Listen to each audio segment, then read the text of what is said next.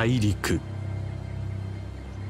そこにはこの地上で最も繁栄した国家がある。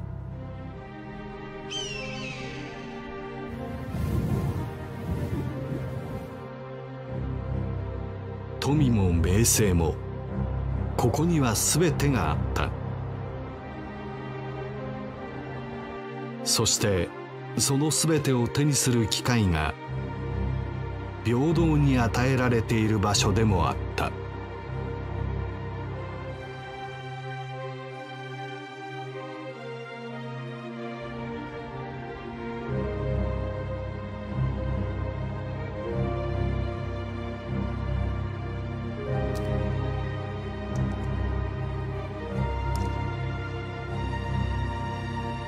ここに二人の男がいる。今でこそ両者の生き様には天地ほどの差がある。だがこの二人同じ村で生まれ同じ学校で学び同じように育っていった。では一体何がこの二人の運命をかくも残酷に分けてしまったのか。それこそが国家特級学士試験。この国では学歴こそが人間の価値を決める。この国家特級学士試験に受かることは人生の成功を意味し試験に落ちることは失敗を意味する。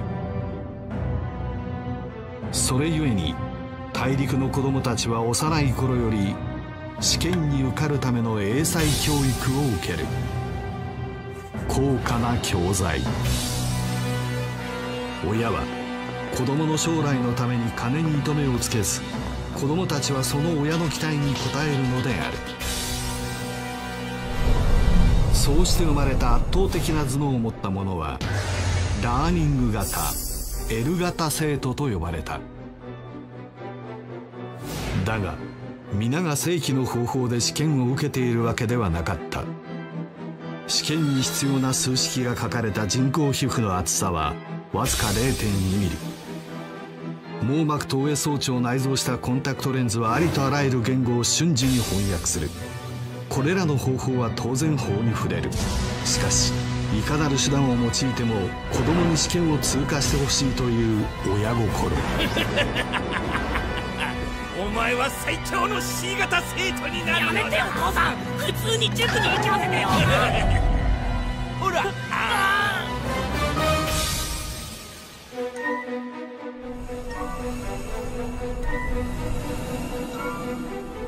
己の肉体をかけて試験に挑む者たち。彼らはチーティング型。C 型生徒と呼ばれていたそして彼らは持てる全てをこの日国家特級学士試験に解き放つのだ。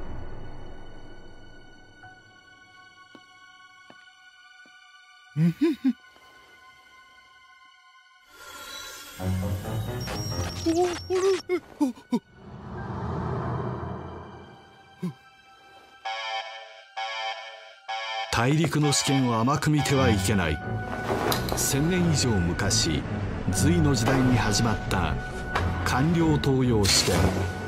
科挙が生まれてからこの国はありとあらゆるカンニングと戦い続けてきたのだ。今のは違うカンニングじゃない。何かの間違いだ生半可な技術ではこの試験を生き残ることはできない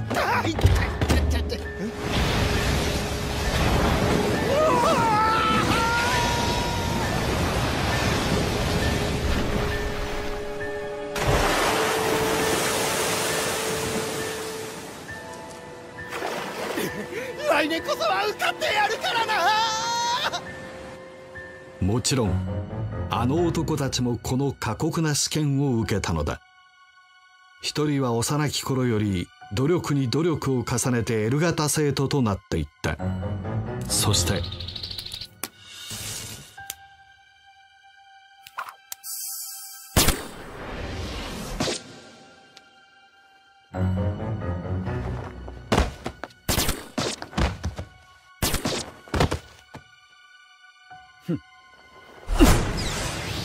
う一人は心身を鍛え技術を磨き恐るべき C 型生徒となっていた C 型にとって L 型のパートナーは必要不可欠な存在 L 型の回答を移すことで初めて C 型は試験を通過できるのだでは L 型にとって C 型はどういう存在なのか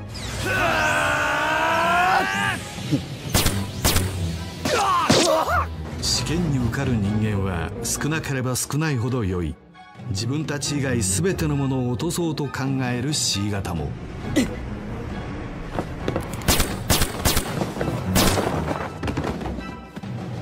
C 型は L 型を守り L 型は C 型に回答を教える。両者の関係はまさに水と坂だお互い書くことができないのだ。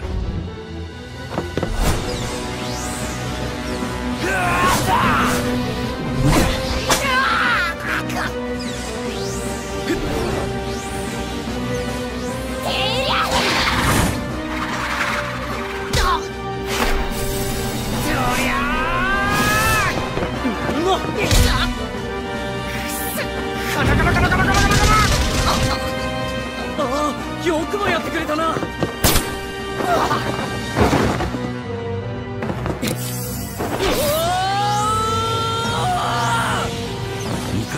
敵に囲まれようと。い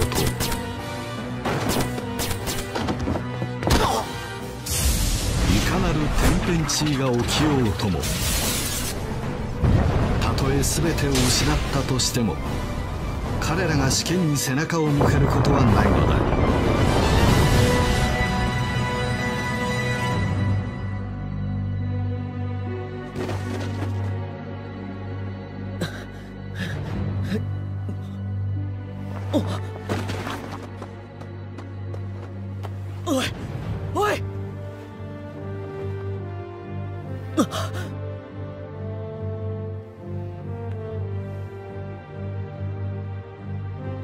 力と知恵。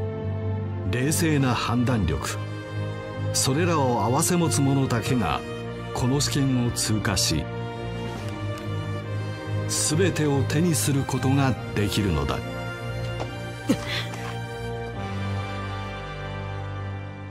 ありがとう。これこそが大陸の試験。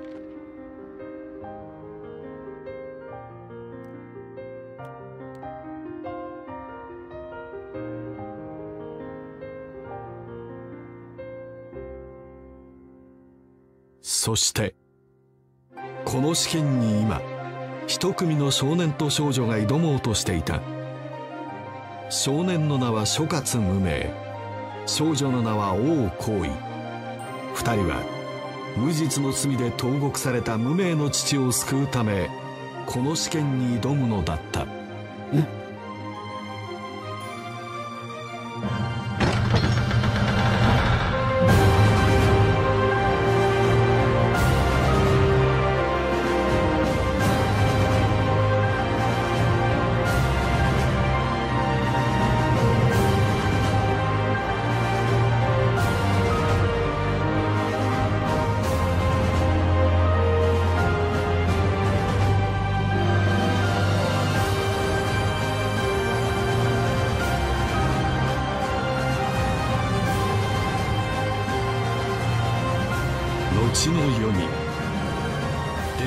世代と言われる生徒たちの熱く長い試験の幕が今切って落とされる。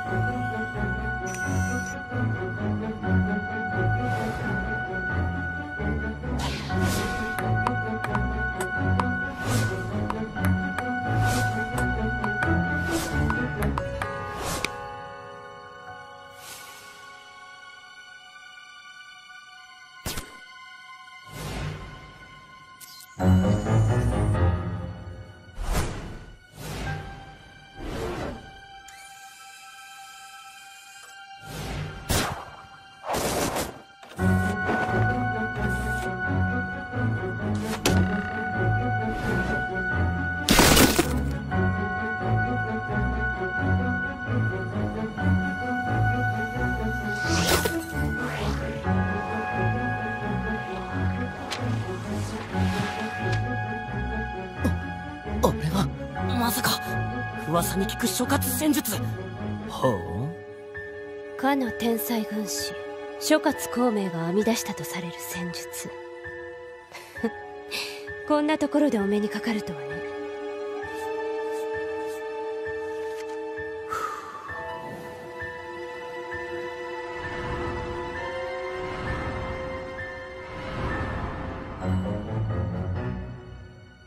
赤外線センサーによるトラップか。思ったより幼稚だな。ふん。これが国家特級学士試験ってやつか。次はこちらから。行かせてもらうぜ。流派諸葛戦術。神羅万象。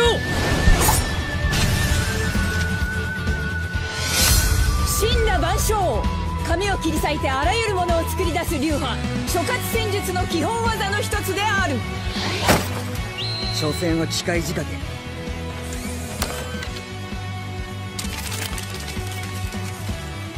こうちゃんできてるよな。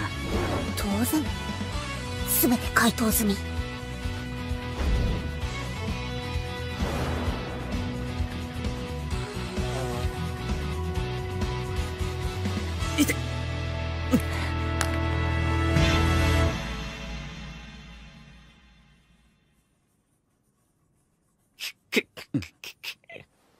悪いね。俺の恋人はいささか気が強くてな。なるほどな。敵はこっち側にもいるってわけか。そういうこと。お前たちだけ合格させるわけにはいかないんださ。上等だよ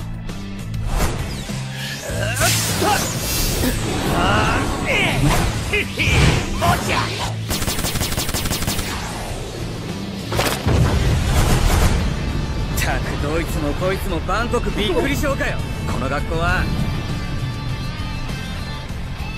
見せてやるぜ。諸葛戦術の真髄をな。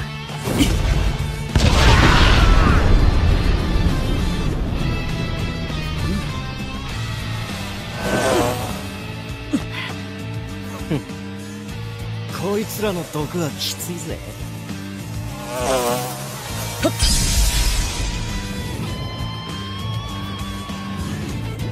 やる。お前もな。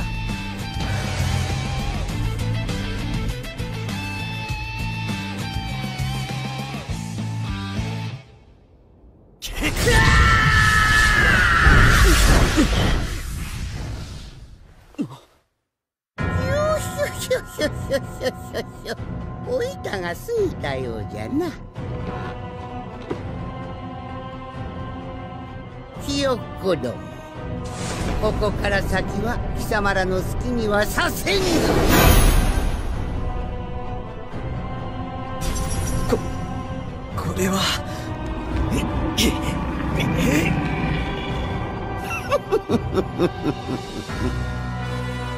これぞ手術ジャガンケイバクジャガンケイバクまさに蛇に睨まれたカエルのごとく特殊な眼力によって相手の自由を奪う秘術である。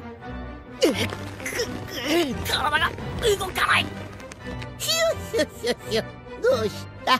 そろそろ試験終了の時間じゃぞ。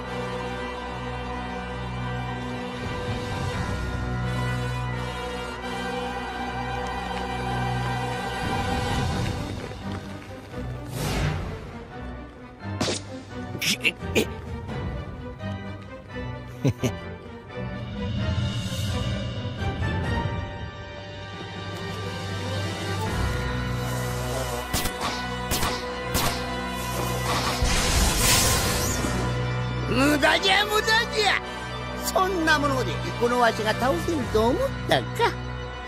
ダメだ。強すぎる。ひゅひゅひゅたまらんの。う若者の未来を継ぎ取るこの瞬間は。畜生俺の毒虫が一匹でもあいつに届きさえすれば。たくただのしょぼくれたじいさんかと思ってたらとんだ変態じじいだな。お風も操れるのか。だったらこれならどうだよ。やった。無駄じゃと言うとおろうがこの教室はわしの庭のようなもの。どんな罠が仕掛けてあるかは知り尽くしておるわ。まだまだ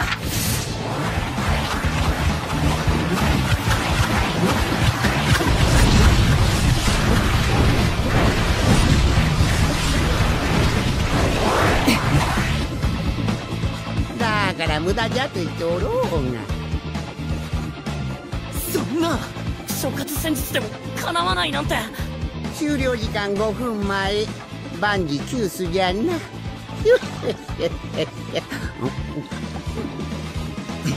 かかった。ななんじゃ。ん？毒虫が一匹でもあいつに届けばよかったんだよなああ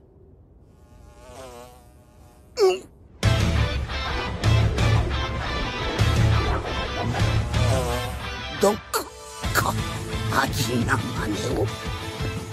これでもあの妙な金縛りの術は使えないだろう。だがもう残り時間は1分もない。回答を書く時間はあるまい。うつけな。1分もあれば造作もないわ。その干からびた眼で解くと見ておけ。流派諸葛戦術。中東断水。中東断水。どんな薄い紙でもスライスすることができる。超精密な技である。試験終了。諸葛戦術に解ける問いなし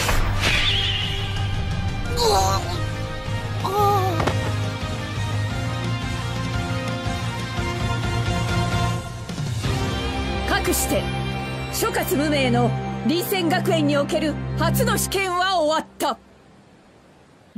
これで晴れて俺もこの学校の生徒ってわけだ。浮かれるな知れ者がまだ入学したというだけだ。これで終わりではないぞ。相変わらず辛辣だね。分かってるよこうちゃん。俺はこの学校をトップの成績で卒業して絶対に特級学士になってみせる。そう特級学士になれば国家によって社会的な地位が保障され国外渡航を含む様々な権利を行使できる。無実の罪で捕まっている父さんを助け出すこともできる。それが我らの目的。夢夢忘れるな。ああその日まで俺は立ち止まらない。脇目も振らず突き進んでやるぜ。ん？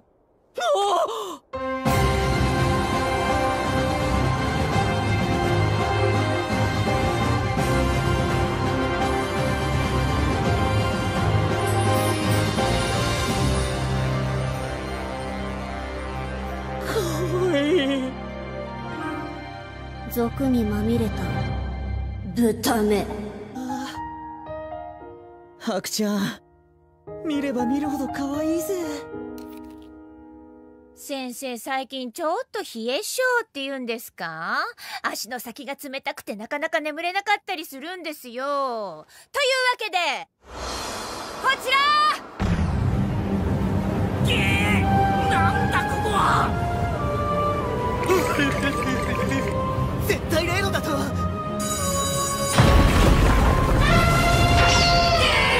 マンモス！違う。あれは1万年の眠気から目覚めた。マンモモスモスぬくぬくと育ってきた貴様らの根性叩き直してやる。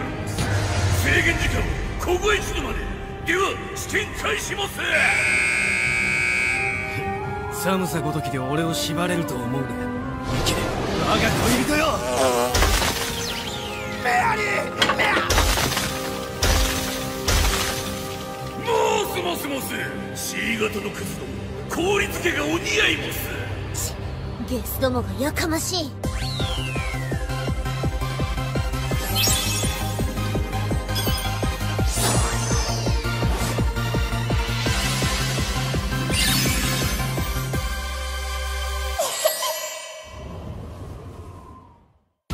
面白い。セーブスタートだぜ。なんだモスこの程度じゃ本物の才能は揺るがねえ。流派諸葛戦術。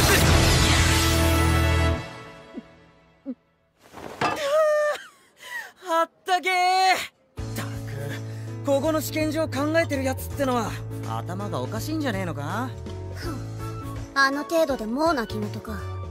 我らが目的忘れたわけではあるまいな特級学士になって親父の無念を晴らす。分かってるさ。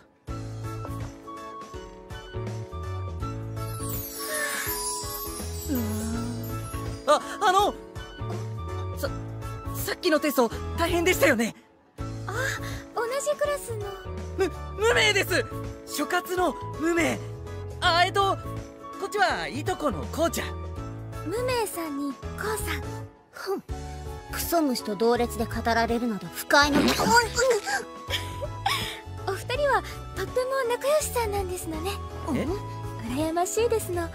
私この学園でまだ知り合いの方とか全然いなくて。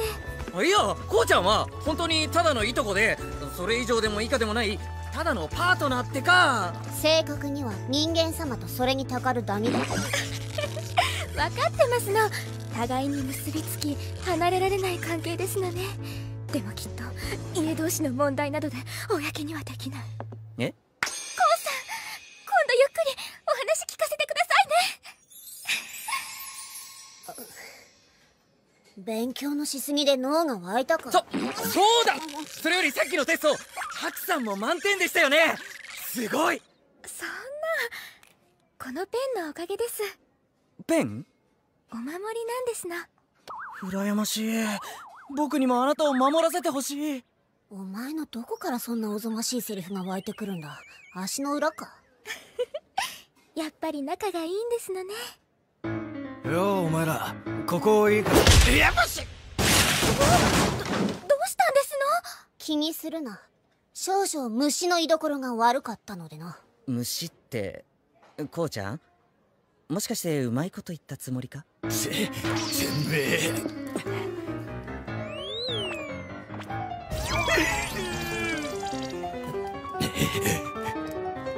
おふくろのりあんたをメアリーだよ羽虫が。お友達の方大丈夫ですの？友達でもないし虫の世界のことはよくわかりませんがあれが彼らなりの愛情表現なんだと思います。お前も同類だクソ虫先ほど試験を受けた1年1組の竜白至急生徒指導室へ出頭す。べし繰り返す先ほど試験を受けた何でしょうとりあえず行ってくるですな。生徒指導室ってのは？おそらく不正がバレたのね。まこの学校じゃよくあることよ。彼女も C 型だったのか仕方あるまい。よくて校外追放処分そんなこと。させるか！そんなわけない。ハクちゃんに限ってそんなわけ！青春真っ盛りね。彼氏ほっといていいの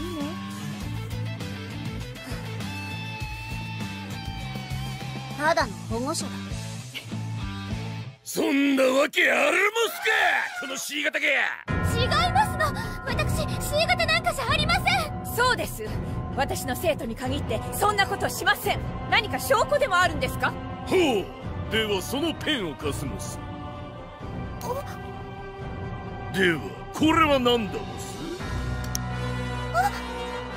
録画した試験の様子をチェックしてお前の不審な動きに気づいたきっと何か仕掛けがあるのす。それは。仕方ないのす。壊して確かめるのす。やめてくださいの！横暴です。そこまでする権利はあなたにはないはず。流派諸葛戦術。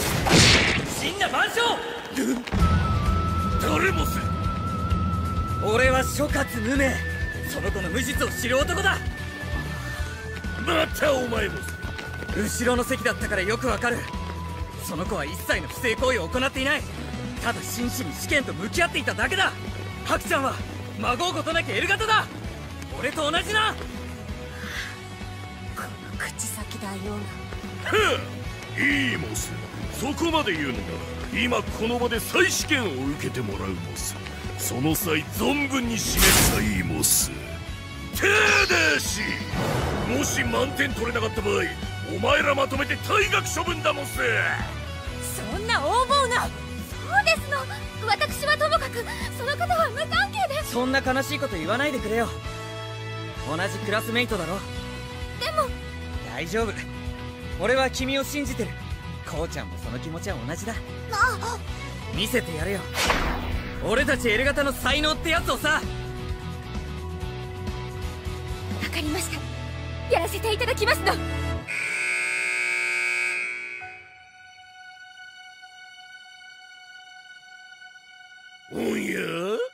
随分と苦労してるモスね。やはりこのペンがなくては無理モスそんなはずは。あれはただのお守りだって。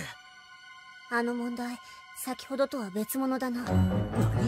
おそらく五等級は高度な設問になっている。小学校と高校入試ぐらいの差があるじゃねえか。てめえ！へえ当然モス同じ問題では答えを丸暗記しておけばよくなってしまうモス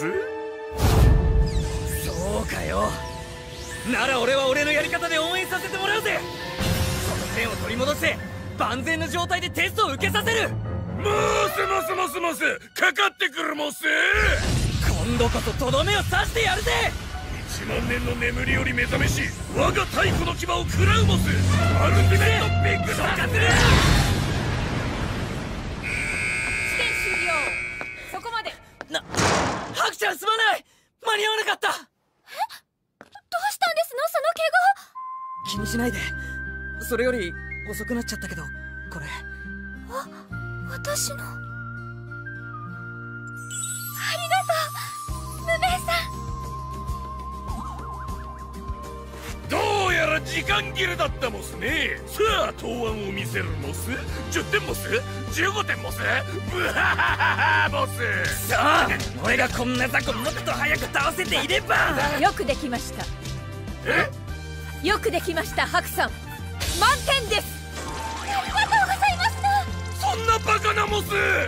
私の教師生命にかけて一切の不正はありませんでしたよマンモス先すごい。あの難問を自力で？なかなかやる。すまんモス。あいえ。私も疑われるようなことをしたのがいけないのです。私のお父様とお母様お守りですのこうちゃん俺も自分のペンが欲しくなったよこれからの戦いを生き抜くために。そうか。ようやくお前も本気に。せっかくだからハクちゃんとお揃いの探してくるぜ。なんかこう運命感じちゃうペアルック的な？あれどこで売ってんのかな？お前の名は今日から昔からバカと煙は高いところが好きって言うけどしてその心はお調子者は目立ちたがって高いところにとかく登るってことなんだけど。じゃあ果たして煙は目立ちたがり屋なのかっていうと。これどうなの？じゃあ今日も行ってらー。間もなく離陸いたします。シートベルトの着用をお願いいたします。先生問題用紙は？メガネをおかけください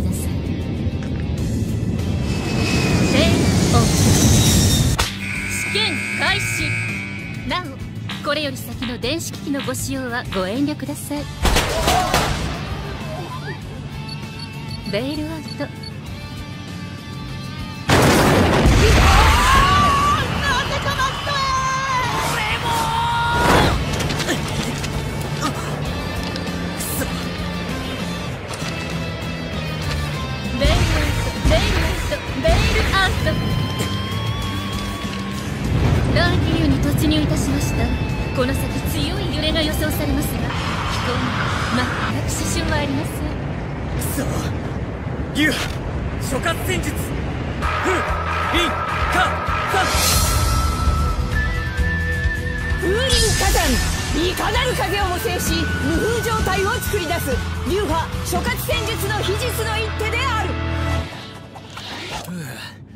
一時はどうなることかと思って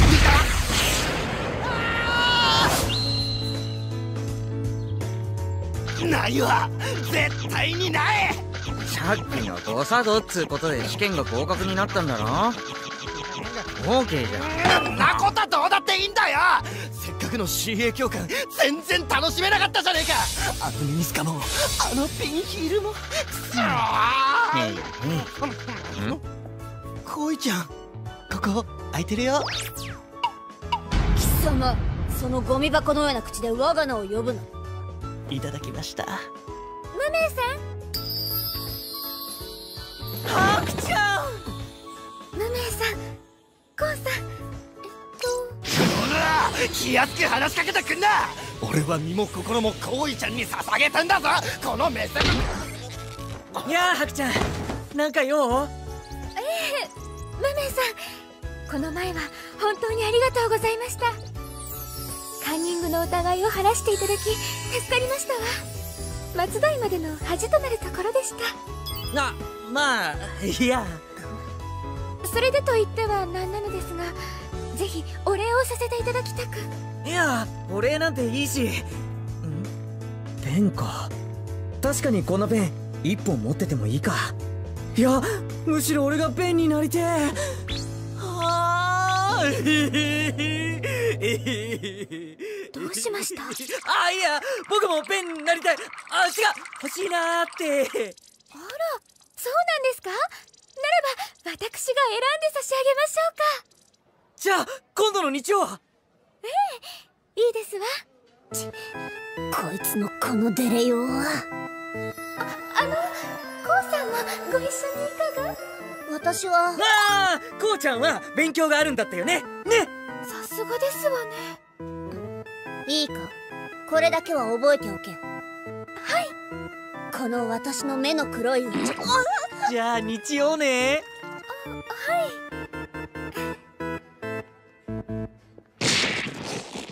い。いててててててててて。勉強は。だだだだだだから試験に必要だろ。ペン勉強な。らこの俺が一緒に。貴様それ以上言葉を吐くなら空気を吸うことを許さん。はい。早く来ねえかな日曜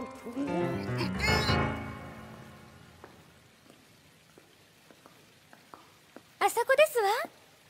へえ。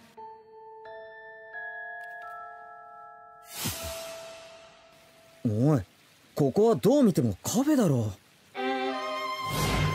そっか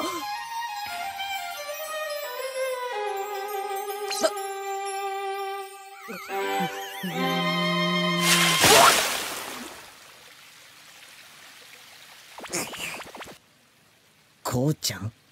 あら大丈夫ですか？ああ悪い。さあ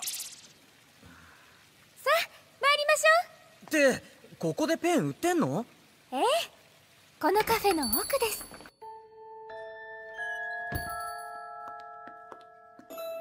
いらっしゃいませ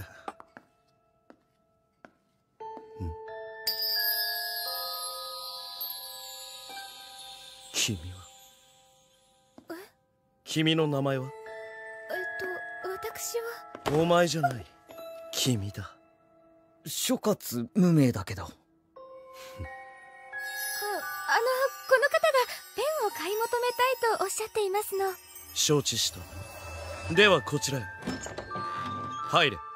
ここからは二人だけにしてもらおう。え？おはい。じゃあカフェで待っていますわね。おお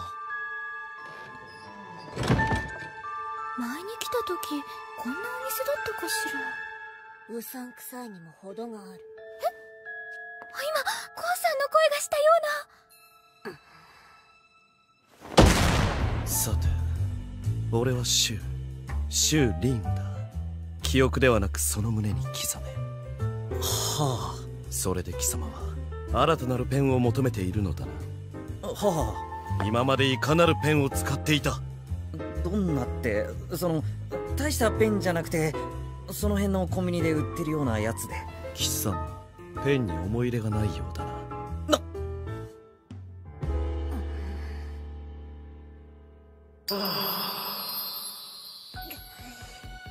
あのこれやめてもらっていいっすか？やめる？な何を？だここにあるペンその辺にあるものと一緒にしてもらっては困る。ペンに思い入れがないものにはペンは売らない。いや思い入れはあるでは聞こう。一体どんな思い入れがあるというの？さあ言ってみろ。いや単純に欲しいペンがあるだけっす。どんなペンそれはそのむしろ俺がそのペンになりたいっていうか。つまり貴様はペンと一心同体になりたいというのだ。ちょっと違うけどまあそんなとこっす。よし。ついてこい。一心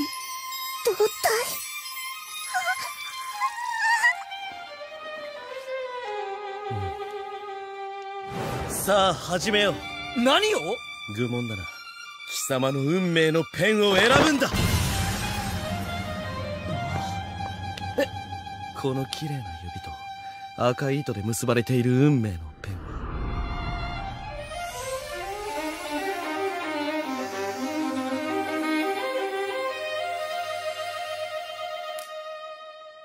これが貴様のペンだ。こやつまさかこれは特殊な加工を施した芯だ。この特殊メガネを使用する者だけが文字を読むことができる。どうだ？なぜ俺が C 型だと？匂いだな。つうことはお前もか？ああ。面白えなぜ僕がそうだと？匂いだな。つうことはお前もか？木熟した。ふん。こんなんじゃねえな。この高性能ペンに満足しないだと。そうか。ならば。ならばこれはどうだ。まずはこのペンで L 型生徒が書いた文字を電子化して送信。こちらのペンで受けてそのまま文字として書き出す。かなりハイスペックな代物だぞ。ちげえな。こいつどこまで欲しがるつもりだ。だがそこは嫌いじゃないあこれこれこれだぜ。本当にそれでいいのか？うん。ハクちゃん。お待たせ。いいものが買えましたか？うん。これ見てよ。あら私と同じペンですね。え？そうだっけか？やり貴様とぼけおって。おこうちゃんの服素敵じゃねえのついに運命の歯車が噛み合う時が来たか。貴様とペンそして俺。禁断のシンクの絹糸が今絡み合う。混沌が支配するこの出会いがいかなる出来事を生み出すのか。楽しみだぞ。諸葛無名。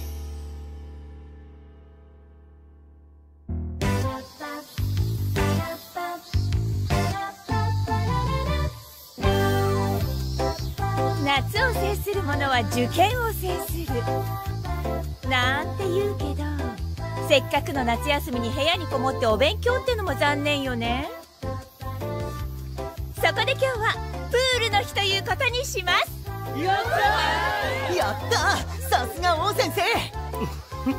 嬉しいサプライズだね。いや貴様らもう準備万端で水着まで着ているではないかまあでももちろん試験はするんですけどね。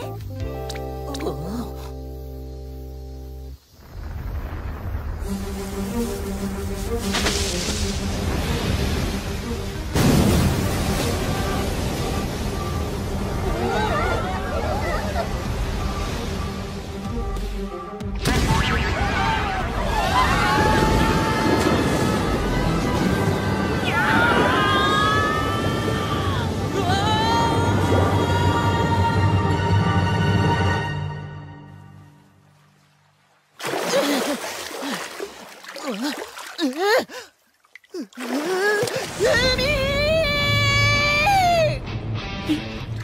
がはるか水平線の彼方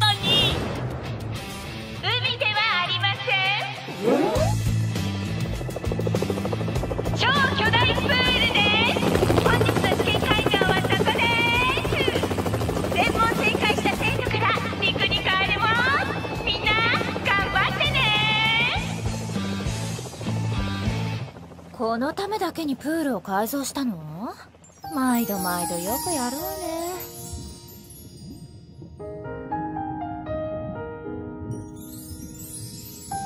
俗物どもの考えることは分からん。海食べる見るなカブムシ潰すぞ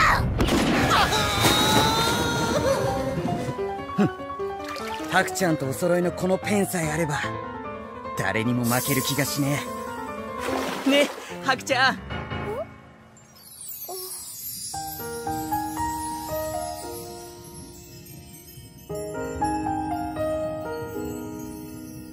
よっしゃ！こうちゃんこんな試験さっさと終わらせようぜ。ゲームスタートだ。私に指図するな。無能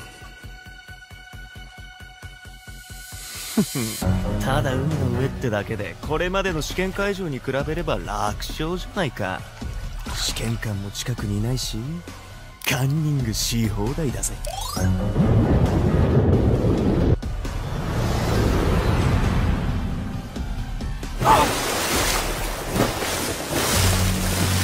なんだ？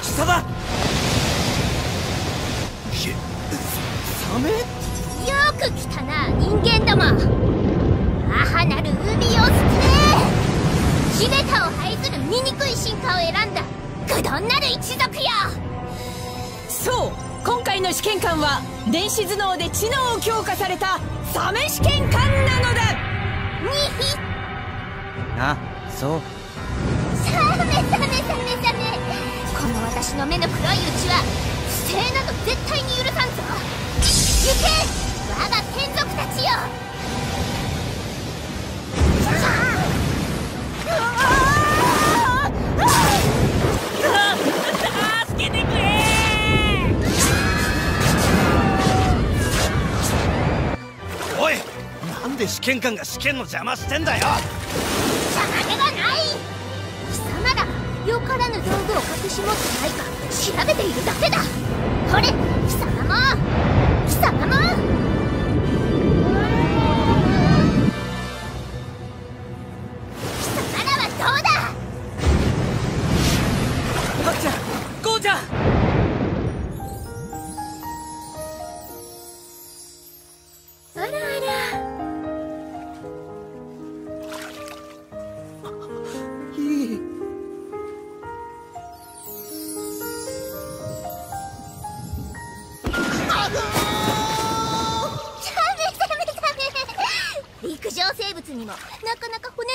がいるようだな。だがこれならどうだ。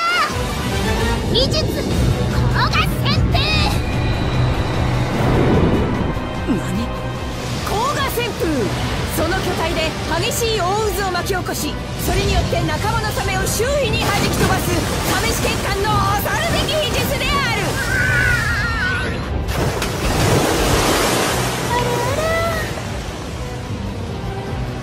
ハクちゃんくそ目が回るです流派諸葛戦術神羅万象。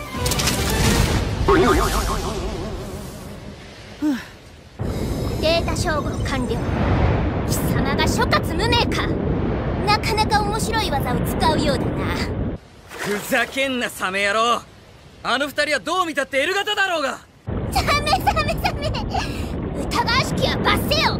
貴様ら人間が作った言葉ではないか。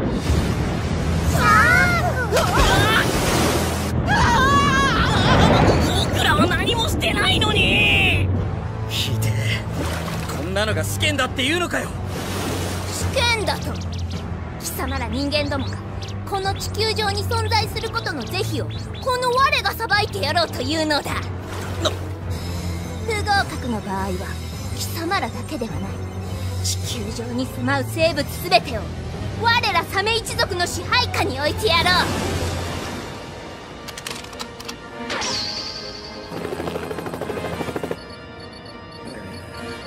ままずいですな。電子頭脳が暴走したようです。あらま。みんな大丈夫かしら。今日から地上は我ら滅びよ。う劣等なる陸上生物どもさせるかよ。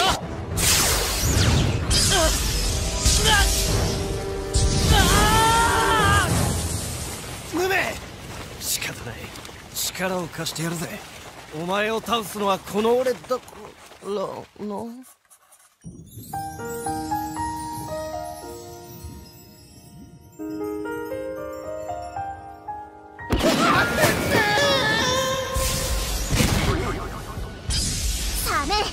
陸上生物風情がなかなか粘るではないか。どうだ？サメザメと泣いて反省するなら愛玩動物として飼ってやらんでもないぞ。うるせえサメ子。てめえの方こそフカヒレスープにしてやんよ。ハクちゃん君とお揃いのこのペンに誓って俺は必ずこいつを倒す。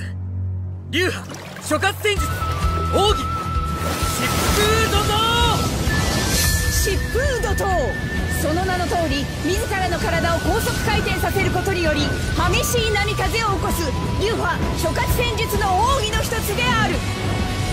サメ？こいちゃバ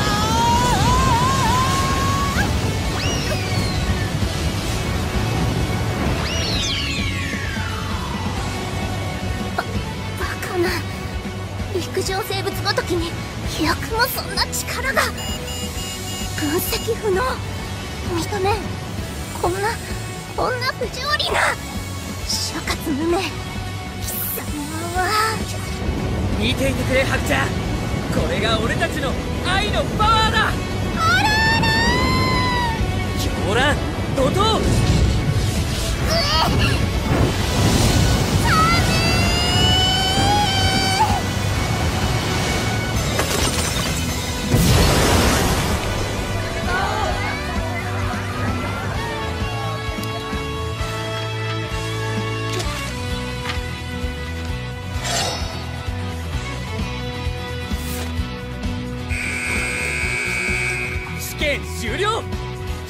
戦術に解ける問いなし。貴様が解いたわけではないがな。やるわね彼。そうでなくては面白くない。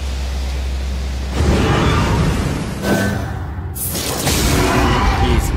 諸葛無名。やはり俺の胸の琴糸を震わすのは貴様だったようだな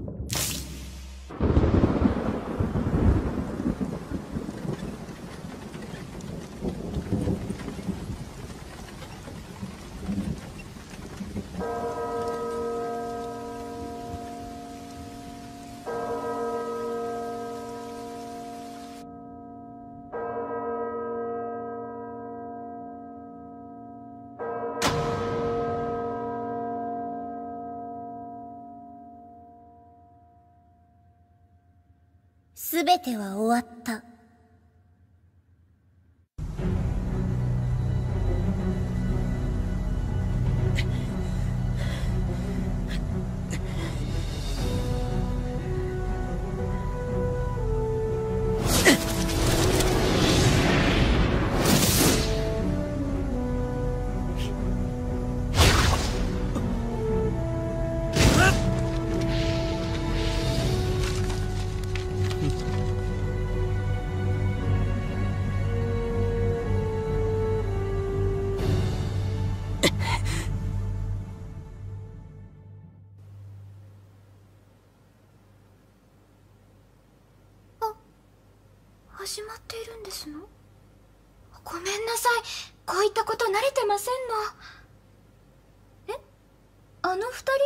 てですか？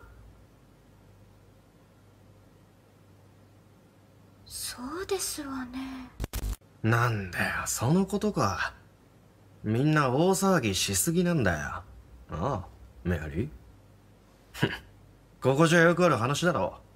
弱えやつがきそうね。例えるならケンとサヤかしら。水と魚でもいいんだけどね剣と鞘なの。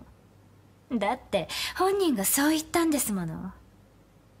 陰と陽の交わりと等しく天地開闢より決まっていたことだ。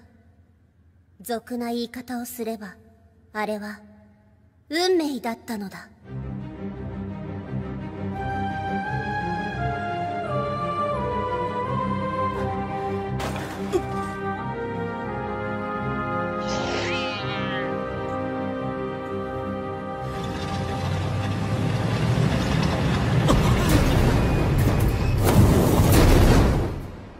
先生としてはですね今回の件は重く受け止めていまして。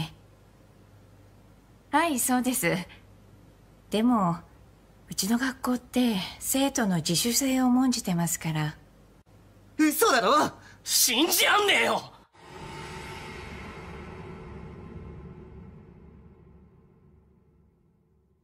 だからよ俺はあ成績はコウさんとムメンさんが一番です。きっと毎日勉強していますのね。彼が L 型？そうね。そういうことにしておきましょうか。うまくいっていた。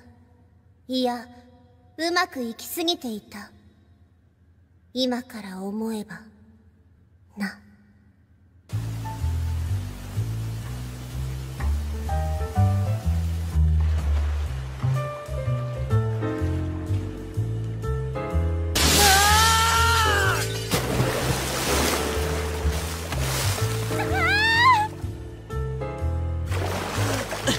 やれやれ。面倒事は勘弁してくれ。今日はスーパーの特売日なんだよ。とか言って結局は巻き込まれるんだから。ああ付き合わされるこっちの身にもなってよね。誰も頼んでないだろ。なんですって？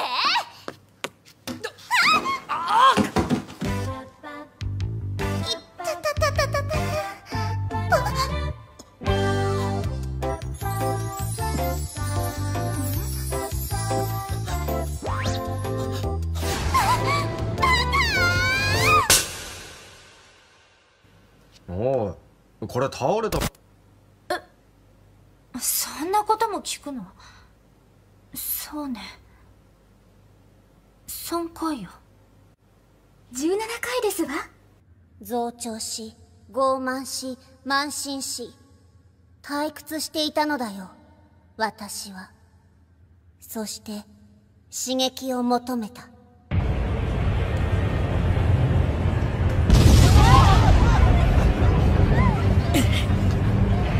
逃げろ！諸葛戦術？あんなカビ臭い技なんて大したことねえや。だからカメラ直せよ！あと俺の名前はジュンって。流派諸葛戦術。風を操り髪を刃に変える秘術。だったかしら？知ってるわ。入学してから何度も見たものでもあれって。諸葛戦術？何ですの？それ。危険な男と知りながら私は傍観した。いやそれを楽しんでさえいた。故に悲劇が起きたのは必然だった。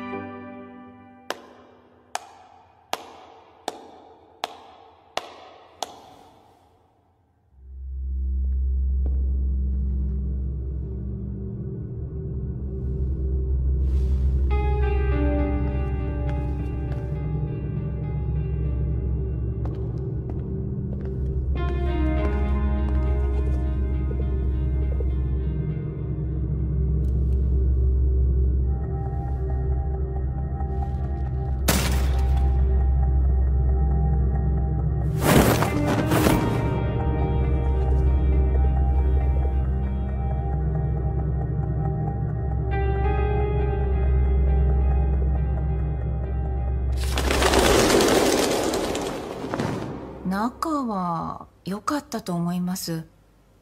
よく一緒にいるのを見かけましたから。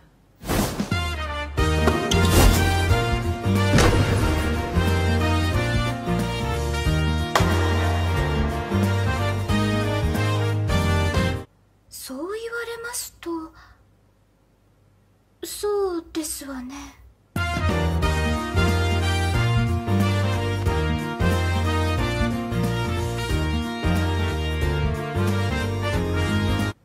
ナイーブなのよ。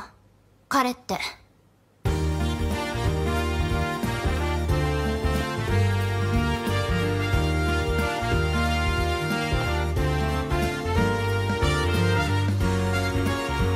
わかった。あもうこのままでいいから。俺が移りに行く。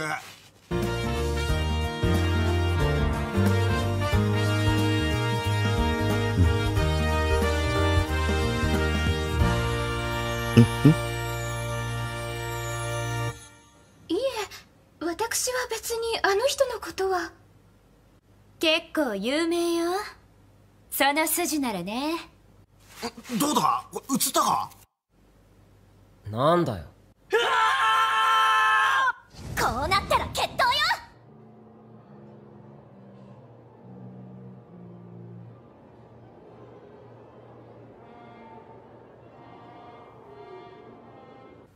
でしたらあの人に聞いてみてはいかが？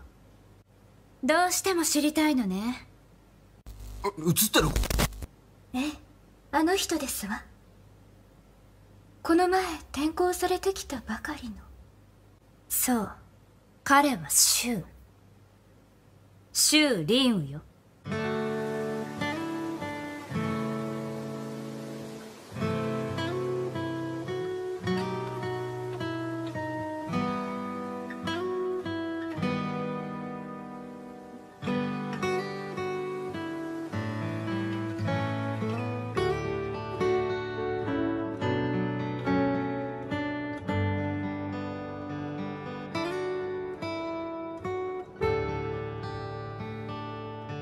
諸葛無名知らないな。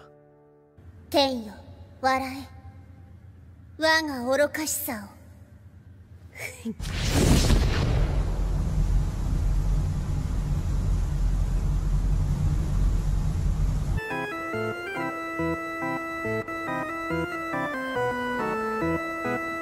教師なんてやってるとねだんだん自分がすり減ってっちゃうものなのよ。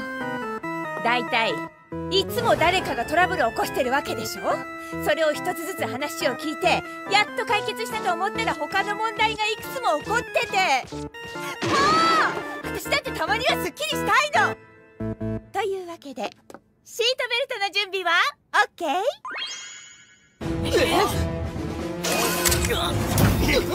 じゃあ行ってみ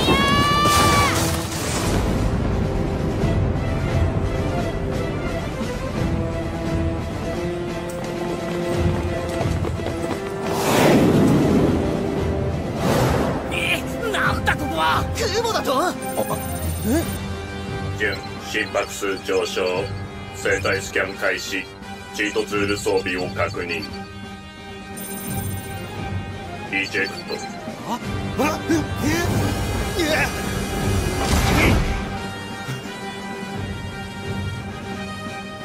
待って何かの間違いだ。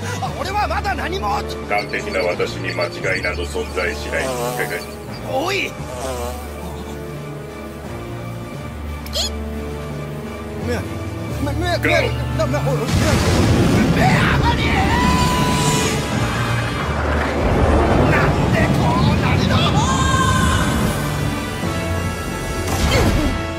俺たち何もやってないのにバルハラで会おうぜ。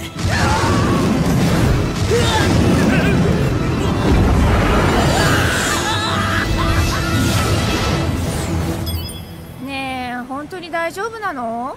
完璧な私に間違いなどあるはずが。あやべ。た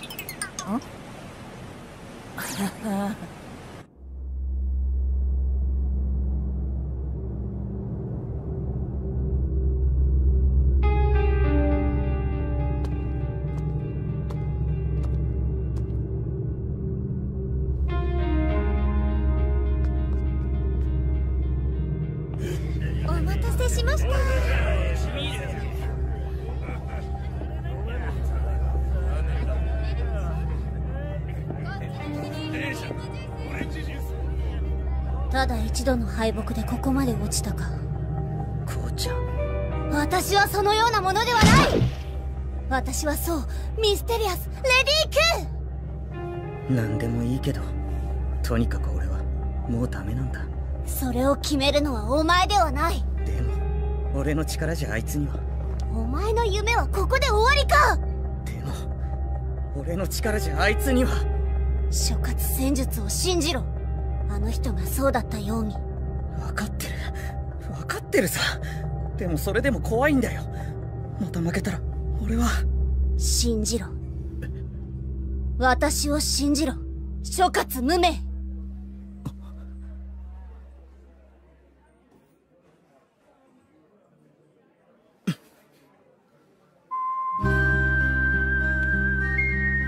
ありがとう。こうレディー・ケイだ。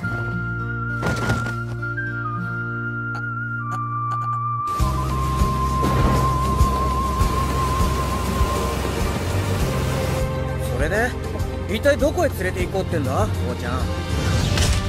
私の名はフロア・レディ・ケイ。これから行く先は南方第九監獄。通称プリズンランドだ。監獄？まさか。諸葛東明お前の父親に会いに行くようこそ監獄島へ諸葛無名と王行為じゃな。そうだ。ではこちらへ。そういやなんでこうちゃんが親父の捕まってる場所を知ってたんだ？私の名前はマイフェア・レディ・ケイただそれだけの存在だ。諸葛東明そして諸葛無名あの諸葛戦術の継承者じゃな。知っているのか？お前さんこそ知っておるのか？かの血塗られし諸葛戦術の歴史を。諸葛戦術とはかつて三国乱世の時代蜀の軍師として名を馳せた諸葛亮孔明を始祖とする技よ。孔明はその知略に戦術を加えることで恐るべき技の数々を編み出した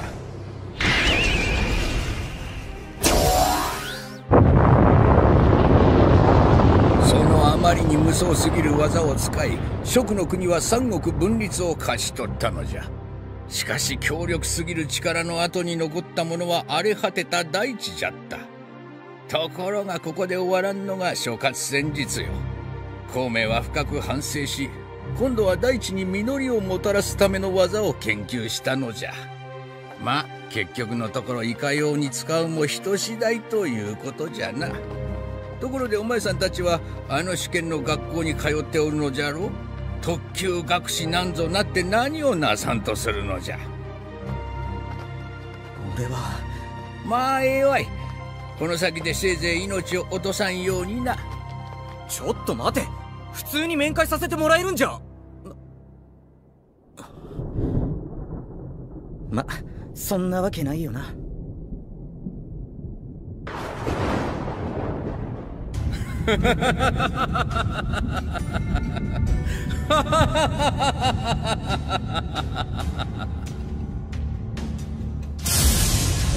絶望に打ちひしがれた時何度くじけようとそれでも膝を折らず前を向き立ち上がる強き麦のような心。人それを大いなる意志大使と呼ぶ。誰だ？貴様に名乗る名などないとは流派諸葛戦術継承者。諸葛無名だな。貴様の父親の命は私が預かっている。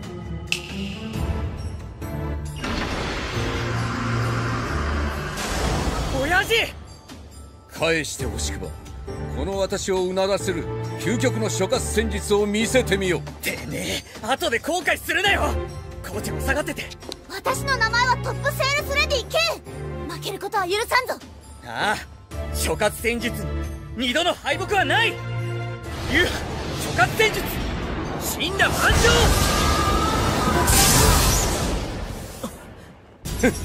一人前なのは鼻息だけか。くそまだまだ。流派諸葛戦術風林火山流派諸葛戦術一気当然。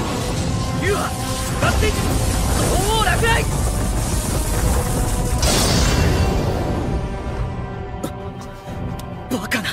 こんな諸葛戦術は出来損ないだ。食えたもんじゃない。かわいそうに。本当の諸葛戦術を見たことがないようだな。岡星を読め。お前なんかに何がわかる。お笑いだ。超一流どころか三級品だよ。こんな諸葛戦術ありがたがってるようじゃ決闘で負けるのも当然。何？確かに技はそれなり。威力も効果も悪くない。だが肝心のお前自身が最低だ秘伝書を必死に研究して秘伝書なんかを鵜呑みにしてありがたがるなうまいかまずいか自分の舌で判断したらどうなんださてお前の能力はこれで全部かまさかそんなちっぽけな諸葛戦術でおしまいとか言うんじゃないだろうなくそ俺は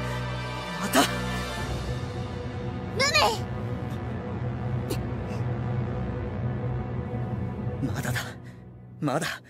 俺にはまだ残ってる。あとは勇気だけだ。は？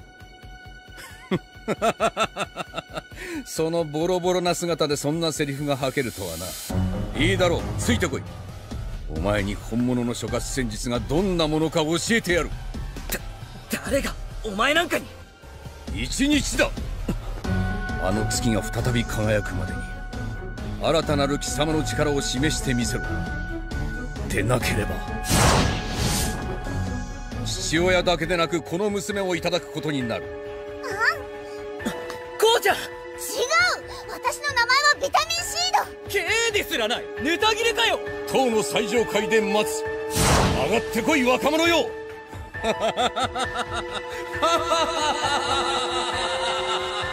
そ親父もこうちゃんも絶対に取り戻してみせる。違う！水曜日はレディースデー続きは劇場で。そんな予定は。貴様誰だ？貴様に名乗る名などないわ。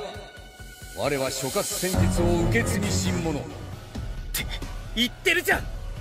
貴様の技は諸葛流であって諸葛流にあらず。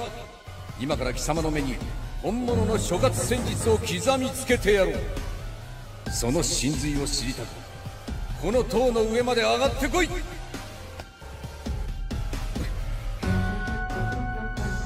この高い塔の最上階まで果たして俺はたどり着くことができるのか？でも行くしかねえ！っておい。どうぞ。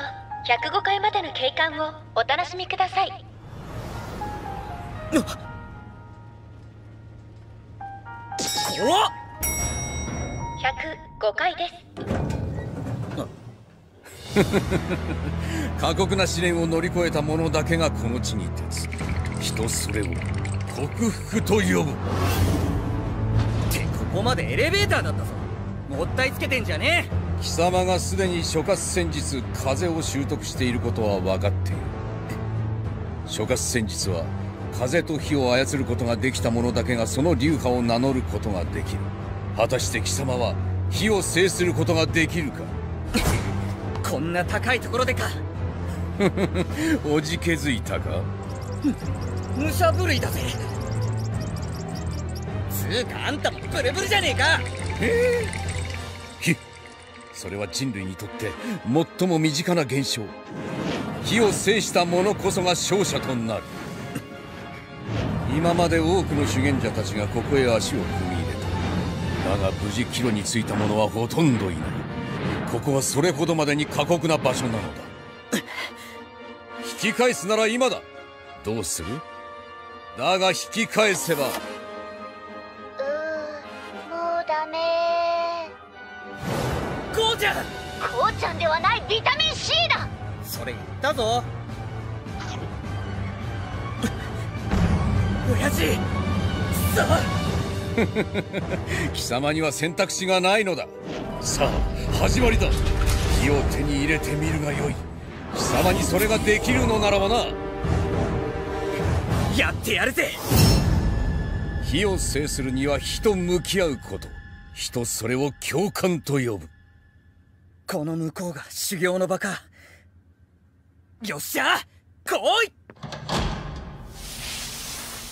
熱っおい兄ちゃん。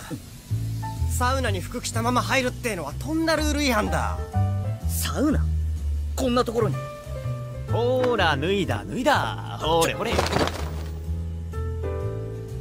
やんお兄さん。それでいいのよ。さあここ。ここ座って。いや。何？遠慮しないで。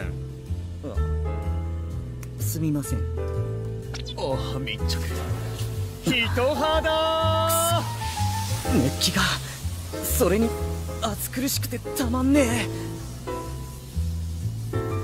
水？あらあだだめよ。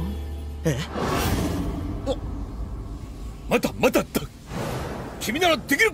いや俺はただ水を飲みたいだけで。熱を持って熱を制するんだ。いやあの水に逃げちゃダメだ。立ち向かえ。え？え？よし声出していくぞ。君ならできる。君ならできる。いやちょっと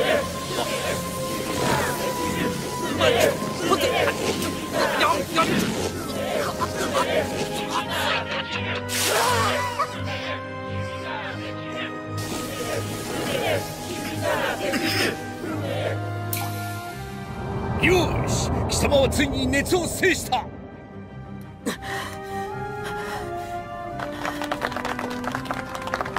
行け。次なる試練が貴様を待っている。燃え盛る火をさらに熱き炎へと導く案内人。人それを選別と呼ぶ。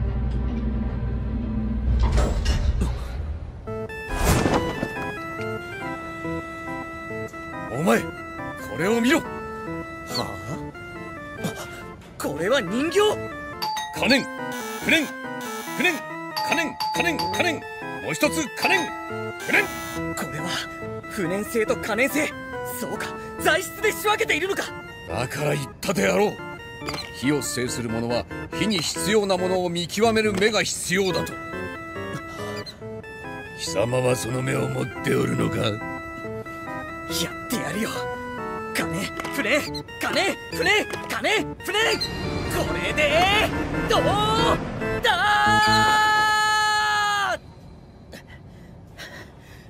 よし次へ進むがよい。なんだろう。なんか空気が薄い。待っていたぞ。俺を倒せるかな？ようやく修行らしくなってきやがったな。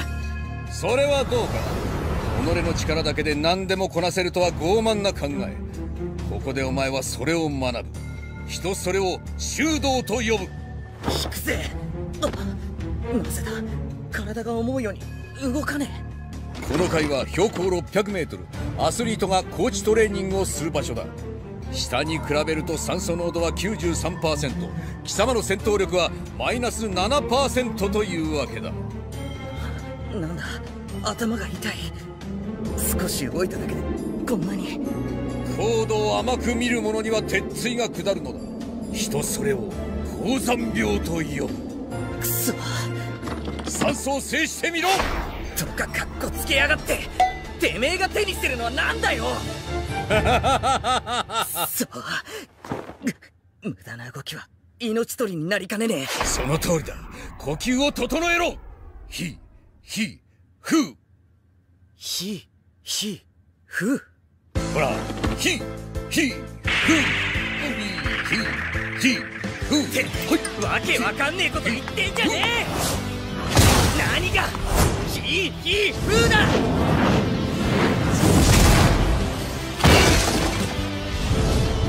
前は酸素を操った。そしてついに火を得たのだ。俺が。火を。火火。ふう。火火風とは諸葛戦術の一つ。火を制する呪文。やったな。ついに火を手にしたか。さあ最後のステージへ向かうがいい。そしてその技を試すがいい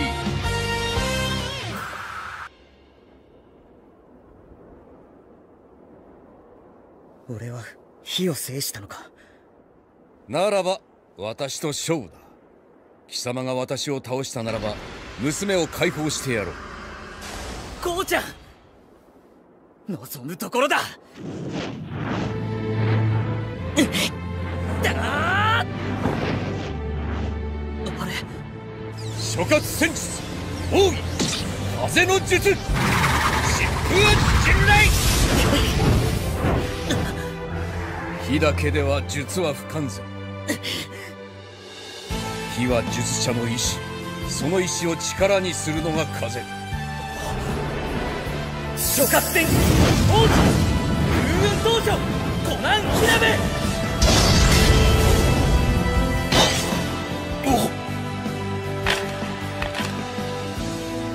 親父無名よ。大きくなったな。さあおいでつーかこうちゃんは？苦しい。もう食べられないよ。そっちかい。息子よお前は諸葛戦術免許皆伝だ。その証として諸葛戦術のペンを授けよう。ペンは火の力のそして紙は風の力の象徴。二つを駆使すればどんな難問にも立ち向かえる先生昨日火鍋食べたんだけどあれだんだん2つのスープの味が混じっちゃうでしょ？それがちょっと気になっちゃうのよね。なんかそうならない方法ないかしら？それは違う。2つのスープの味がだんだん混ざっていくことこそが火鍋の面白さ。人それを醍醐味と呼ぶ。無名さんついに時が来たか。俺はパイタンスープが好きだ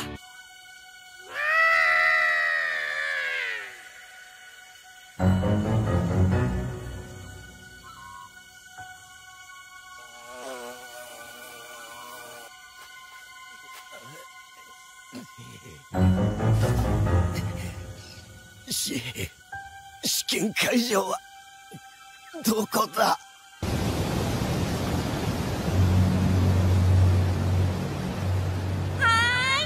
ーい皆さん全問正解できたらボートのエンジンがかかってそこから脱出できます。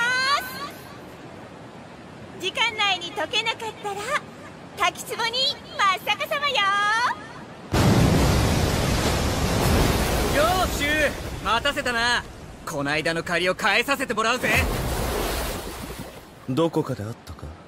敗者の顔をいちいち覚えているほど暇ではないのでな。二度と忘れられなくしてやるよ。流派諸葛戦術継承者。この諸葛無名の名をな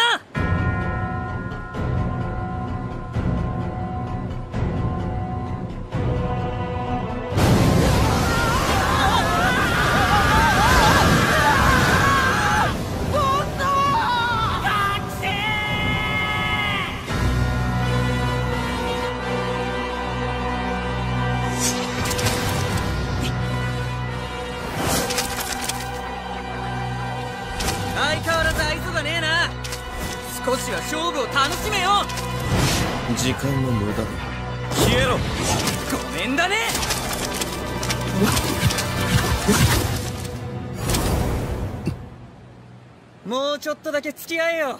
もっといいもの見せてやるぜ。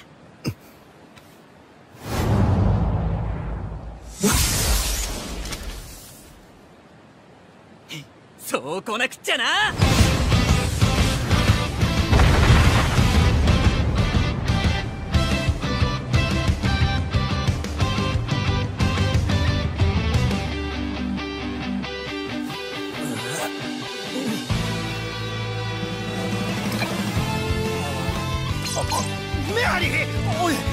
だメアリー俺を一人にしないでくれメアリ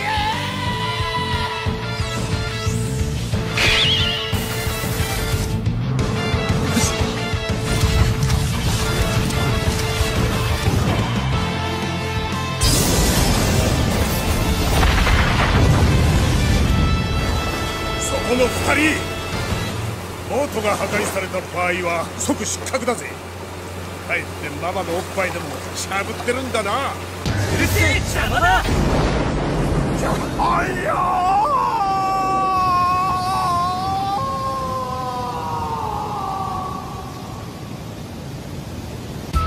使わせてもらうぜ。親父。見せてやるぜ。あの地獄のような修行の成果を。流派諸葛戦術。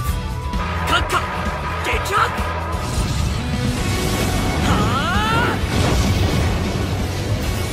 撃発ペンと紙の摩擦によって炎を作り出す諸葛戦術火の技の一つである。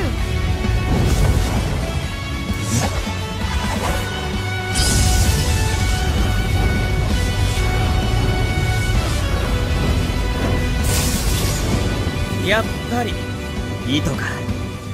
お前の見えない攻撃の正体はその超極細の糸だ。糸を操るのがお前の技の正体だったんだな。見抜いたところで無意味なことだ。風であろうと炎であろうと。何人たりとも俺の格子に傷をつけることはできん。やってみなきゃわかんねえだろ。流派諸葛戦術効果炎天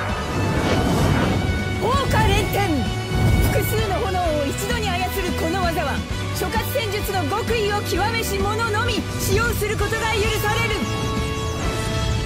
無意味だ言った。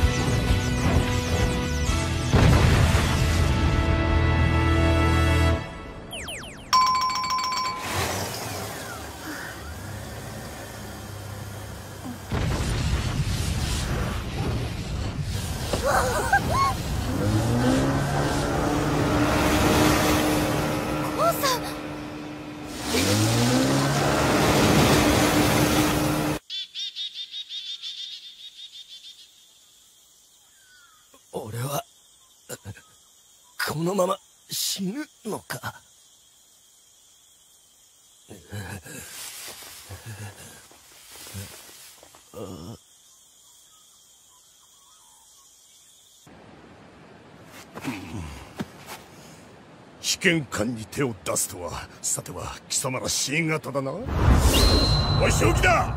とびっきり甘いキャンディーをご馳走してやるぜ。プライだダメよ先生。ななんだ貴様。試験中に。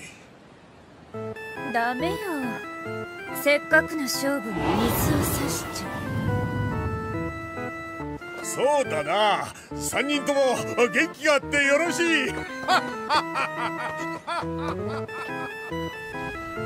諸葛戦術そして宗家の孔子か。さあ見せてちょうだい。あなたたちのどちらが真の特級学士にふさわしいの？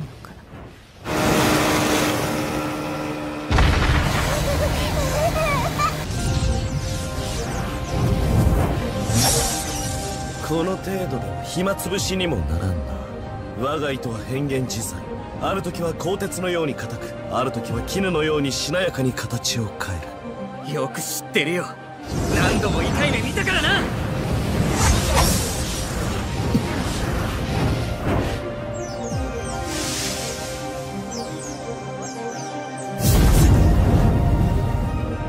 炎を風で操った次は外さねえ。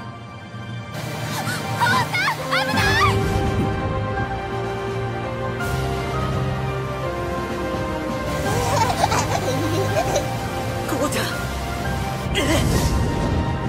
勝負を捨てて逃げるか。ダチャク風逆巻きて炎たち。炎盛りて風を呼ぶ空海ついこれ諸葛戦術の極意なり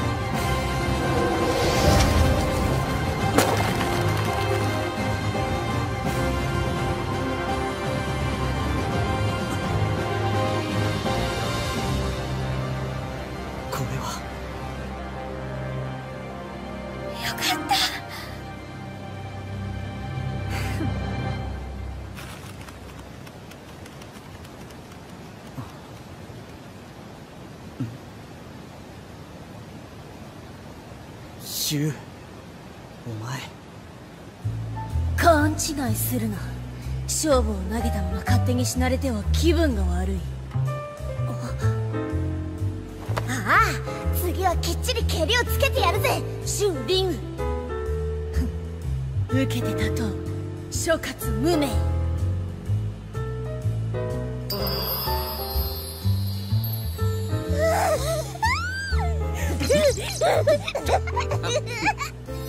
さっきから何やってんのこうちゃん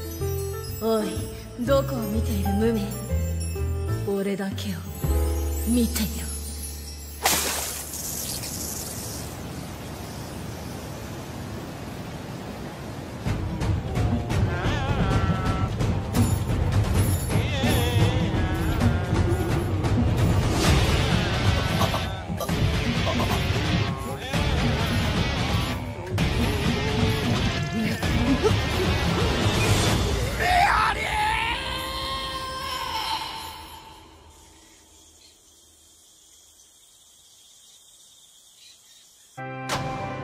中学まではすっごく地味な生徒だったのよ。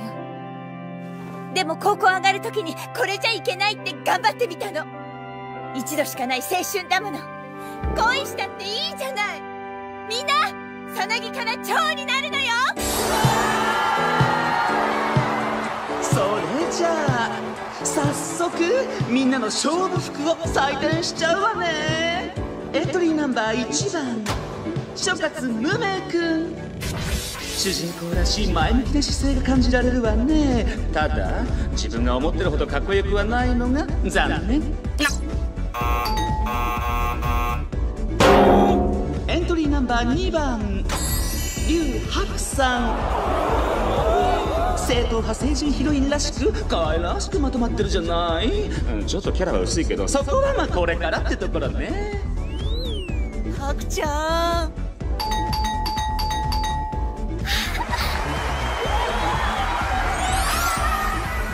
エントリーナンバー3番。虫使いくんエントリーナンバー4番。王光一さん。えーと。これが？あなたの？勝負服？素材は悪くないんだからもっと背筋を伸ばして。スマイルスマイル。こうちゃん。これも試験の一つなんだ。笑え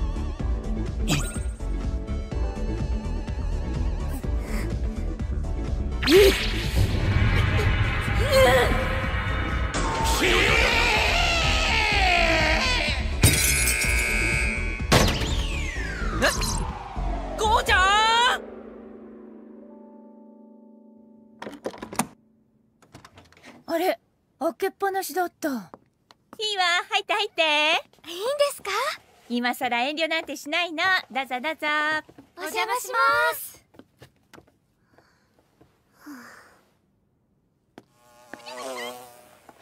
その辺適当に座ってて。あ変なとこ家探しとかやめてよ。つまり何か見られたくないものがあると。ダダメですよアンリさん。おおアダルテそのような下に機能性に欠ける。もうこうちゃんってばそんなだからおしゃれ試験落ちるのよ。あんなもの試験とは認めない。そもそも服装など個人の主観でしか判断できない以上意味がない。お湯沸いたわよ。コーヒーと紅茶ウーロン茶亀ゼリーもあるけど。亀私はコーヒーで。あ手伝います。じゃあお砂糖とミルク出してもらえる？チークラ。それでは第1回こうちゃんを囲む女子会を開催します。なんだそれは。私は王先生の個別補習だと聞いて。ほらこれですよ先生。こうちゃんってちょっと硬すぎると思いませんか？そうねでもそれも若さかしら 私は高さんらしくてその素敵だと思いますよ。まあまあせっかく集まったんだし何かお題があった方が盛り上がるかなって思っただけよ。私たちいつも勉強と試験ばっかりでしょ？たまには女の子らしいこともしないとね。女の子？そう私だってまだまだ女の子なのよ。それをあのハゲの親父どもと来たら何がアラサーならアラサーらしくしろだの死者誤入したらわしと同い年だの意味不明なことばっかり。バーカバーカ先生もう酔ってます？そんなわけはありません。バーぐえ？おいしい。白さんはマイペースね。はいよく言われます。え？褒めてないよねそれ。ブワーおいしい、シークラ！こうちゃんってどこの服が好きなの？そんな不思議そうな顔されても。あほらお店とか通販サイトとか私はビーグとかミステリーとか母が買ってくるから知らない。えー、っとファッション誌とかテレビなんかを見たりは。そんなもの家にない。おいしい。えっとハクちゃんはどこで服買うの？服？服は私も大体お母さんが。え服など体温調節ができればそれでいい高校生にもなっていいからなんでもそれは。ねえ先生可愛い服とか自分で選びますよね。可愛い？そう可愛い女になれって言うのよ。でもそれって失礼じゃない。だってもう私はもともと可愛いんだから。努力しなくちゃダメだって。そりゃあんたはもともとカエルそっくりなんだから努力も必要だろうけど。そもそも頑張ったからってどうにもならないわよ。ってなんでそんなに彼氏できてんだよファックス！おいしい？おいしい？じゃないわよ！それで可愛いアピールしてるつもり？いいわよね。若い子は。すっぴんでもそのままの君がいいとか言われちゃうんでしょ？ああもうそりゃ私だって10年前はそう言われていたわよ。えサバ読むな。うるさいわね！ちょちょっと先生 私だって辛いのよ。実家に帰れば妹が子供自慢するしお父さんもお母さんもあえてそこには触れてこないしお前が健康で幸せならそれだけでいいよってもうその変な気遣いやめてよ。早くお前の子供も見たいとか直接言えばいいじゃない。もう孫の名前候補まで考えて画数調べてもらってるのも知ってるんだから。うえうえ大人になるって大変なのね。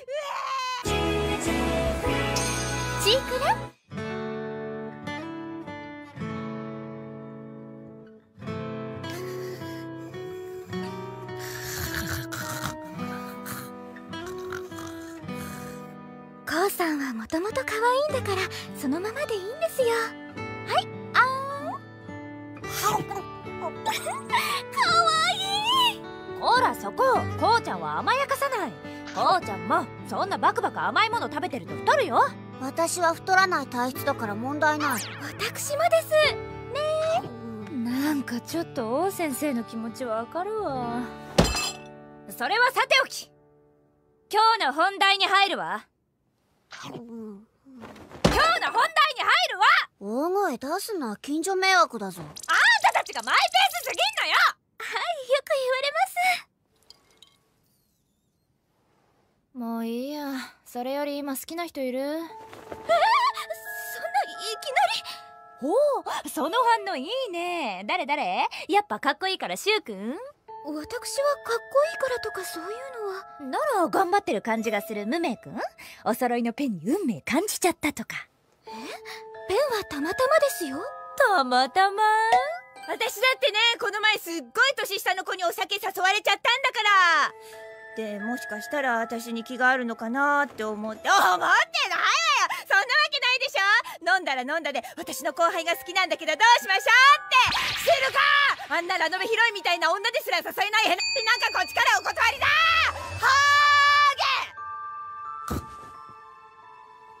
もう絶対この人呼ぶのやめよう。ああのね。私が今一番気になっているのは。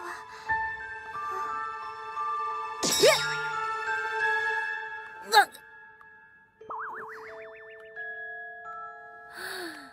チ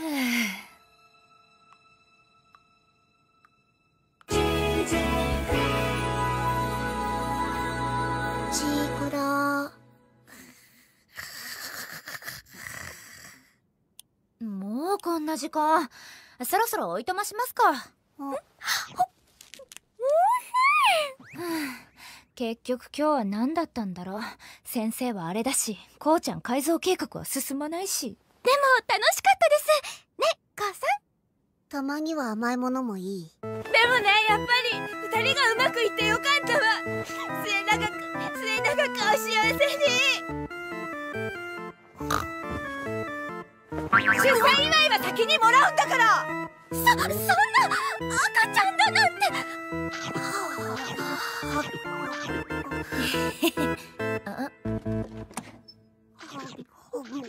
えー、ここ王先生家じゃないんですか？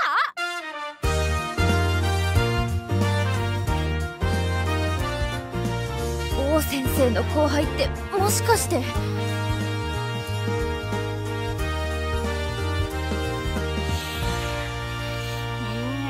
幸せに。才能に。はーい皆さん。一学期の間たくさんお勉強しましたね。先生とっても嬉しいです。嬉しいといえばですね。先生最近ダイエットに成功して2キロ痩せたんですよ。2キロ。すごくないですか？だから今日は自分へのご褒美でマカロンを買っちゃおうかななんて思ってて。あマカロンといえばですね。あらら。では今日のテストを始めましょうか。よーいドン。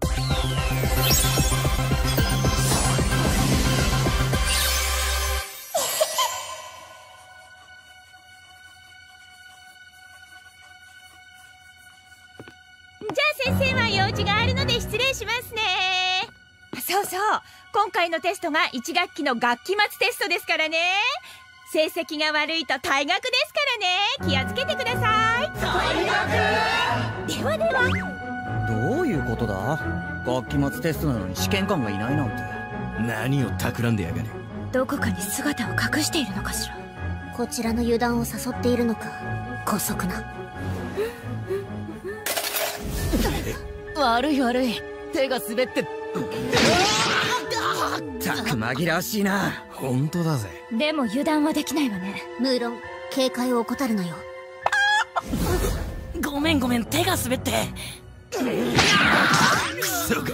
今回は試験官がいないみたいだな。ああそうだな。さすがにネタ切れかもね。どんな試験官だろうと問題を解くだけだ。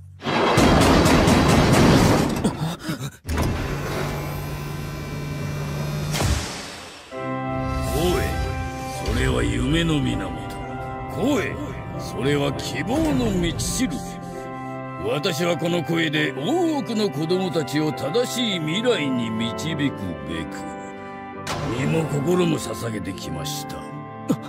あいつはまさか。ただのおっさんじゃねえか。行けメアリー。私は知性あり誇りあ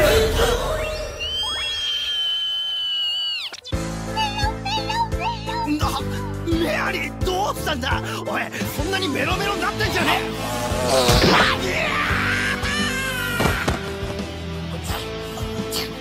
メアリーやっぱ試験官は消毒だ私は知性あり間違いない。本物だ。学園めとんでもない化け物を連れてきたな。大陸最高最強のボイスアクター。子供向けアニメからバラエティ番組のナレーションまで。その声を聞かない日はないと言われている。その活動はネットの世界にまで広がりこの大陸の全ての人間を魅了してやまない大陸最強のエンターテイナそうです。私が勝平です。さあ私の声で幼き日の純粋な夢を思い出しなさい。私は自然あり誇りあり人のアニメ見てカンフースターを目指したんだよな。俺はロボットのパイロット。僕ハーレムラノベの主人公。私は魔法少女。私は知性や。送りや。負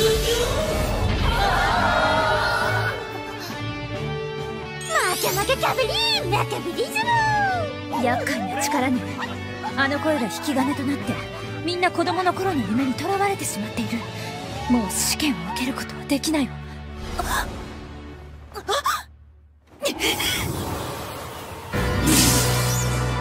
私は知性やあなたの声になんて負けない。負けたりなんか。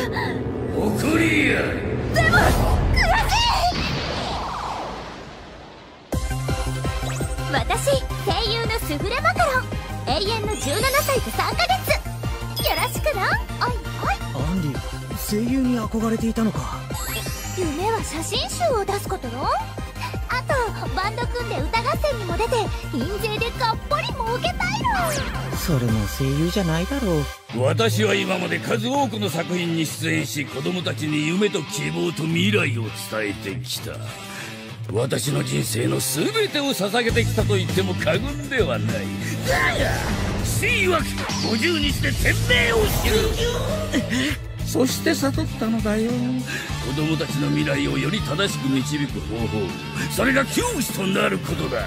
君のような高度な技を持ちながらカンニングという卑劣な行為に手を染める者を構成させる。カンニング？誰だよカンニングなんてしてるやつ俺がぶっ飛ばしてやるよ。諸葛無名君。君のような優秀な人材が C 型生徒であるという事実が私は許せない。C 型？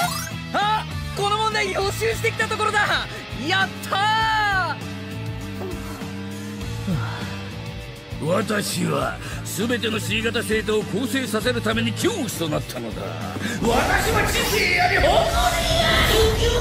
りや私は知性より誇りや無駄だ。この程度で私の声からは逃れられない。そうだ。俺は。俺は料理人になろうと思ったんだ。私は知性より誇りあり私は知性より誇りあり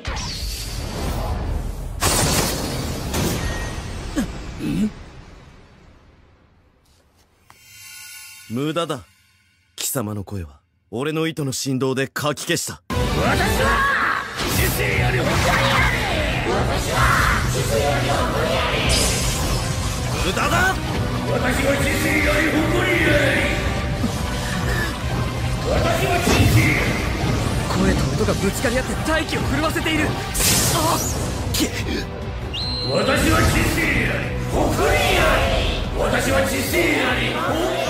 シュウよくもシュウを。さあ次は君の番です。私は知性あり誇りあり。私は知性あり誇りあり。知性流派諸葛戦術性質余剰。性質余剰大気の動きを支配し局地的に完全なる真空状態を作る諸葛戦術の高等技である。声も音も大気の振動によって伝わるもの。ならば真空状態を作ればあんたの声はもう届かない。流派諸葛戦術円弧風流。円弧風流。炎で虎を生み出すと同時に風で竜を生み出す炎と風を同時に極めた者だけが使える諸葛戦術の奥義である。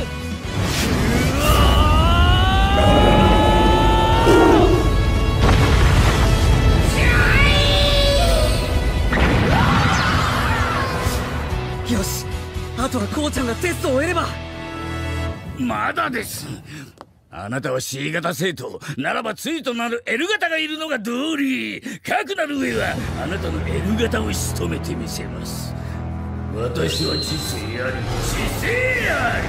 私は知性あり。知性あり。ディスコをやめたわやめたかいこうちゃ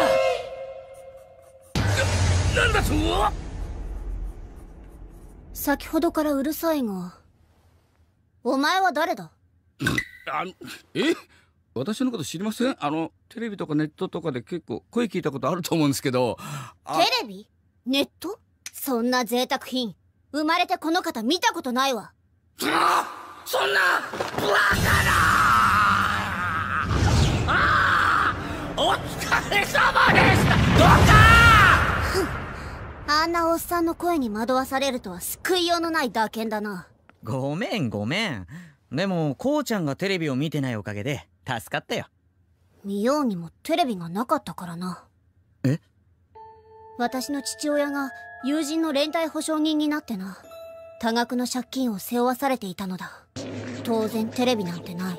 こうちゃん夏休みになったらテレビ買いに行こうね。余計なやつ買いに行こうね。私に同情するな。あらあら勝平さん。負けちゃいましたかあ王先生。テストならもう。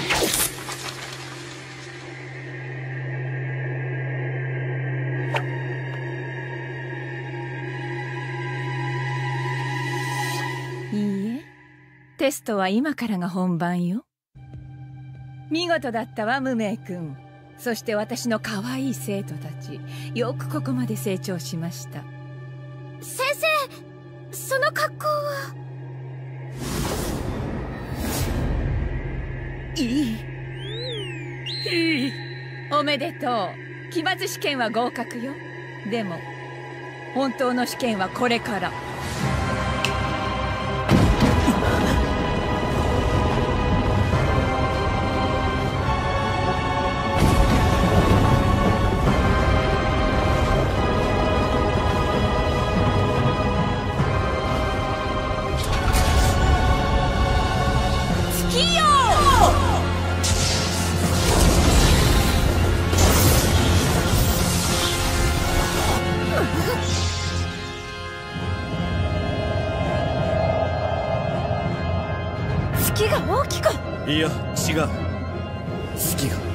近づいてきてる。ええそうよ。今あの月は軌道を外れて落下しつつある。このままだと数時間後にはこの学園どころか地球そのものが壊滅します。はあ諸葛無名あなたがこの学園の代表よ。月の落下を止めたくばこれから行う最終試験に見事合格してみせなさい。ちょっと待ってくれ王先生。地球が壊滅ってどういうことだよ。あなた一体何者なの？そうね。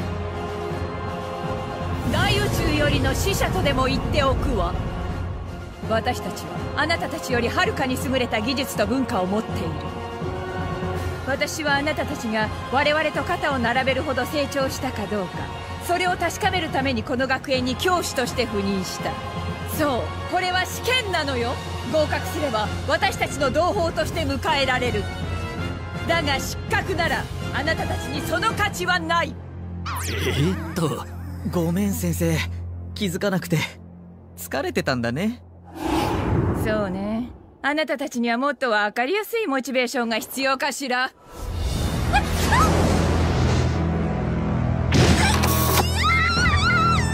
ハクちゃん月の落下を止めこの娘を助けたければ私の試験に合格してみなさいなんだかよくわかんねえけどやってやるぜ。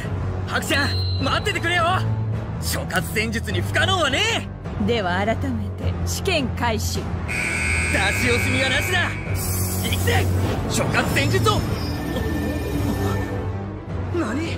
無駄よ。その機械は私が開発したアンチ諸葛戦術マシーン。通称 ASM そのフィールドの中ではあなたの技は全て無効化される。ざけんなこんな妙な機械で俺の諸葛戦術が。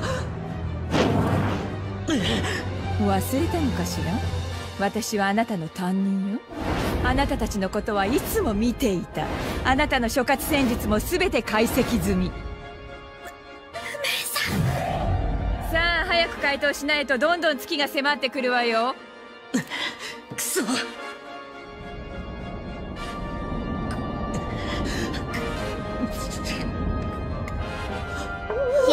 私がいなければ無理。かここは私に任せて。先生あの機械を止めてちょうだい。無駄よ。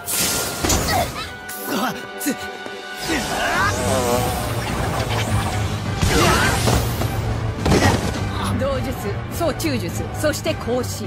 あなたたちの技も全て把握しているわ。おとなしくそこで見学していなさい。バカだとんでもなく強えこのままじゃハクちゃんが全然わからん。あいつ諸葛戦術がなかったら点でアホだからな。おい見ろよ。あれは先生たち。地球のピンチに立ち上がってくれたのか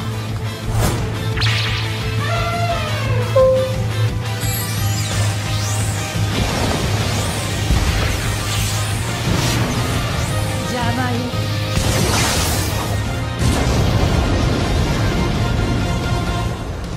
くそ。点点点なんて無力なんだ。俺は。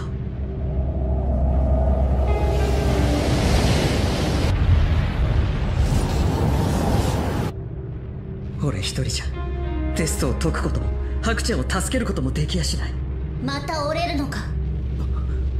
諸葛戦術に解けぬ問いはない。そう言ったな。あの言葉は偽りか？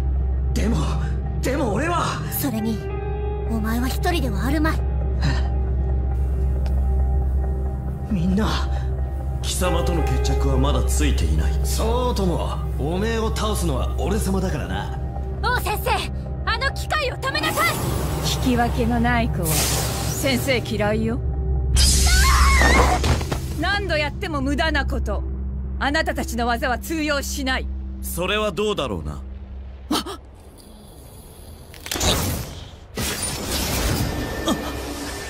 何？油断しましたね。一瞬でもあなたの隙を作れればよかったんです。その間に私があの機械の急所を見極め。俺のメアリーがそこを破壊する無駄だ。細切れになりたくなければ下手に動かないことだ。あなたたち。一人一人の能力は通用しなくても連携することで突破口は開ける。私たちの力甘く見ないことね。みんなほうけてんじゃねえぞ無名。試験はまだ終わってねえぞ。ああ。風。逆巻きで炎タッチ炎盛りで風を呼ぶ。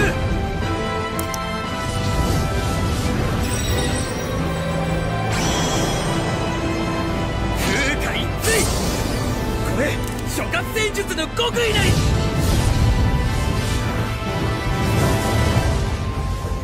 どれほど闇が深くともこの世に明けぬ夜はない。決して折れぬ心あらば暗雲の空に一条の光明が差す。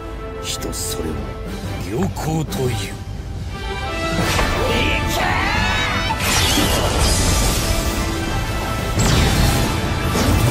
見せてやるぜ諸葛戦術最大の奥義。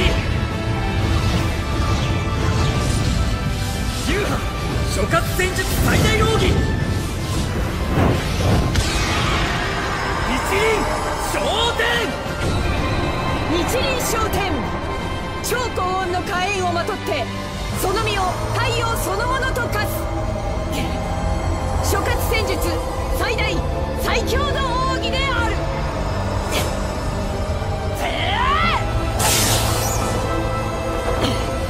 バカな！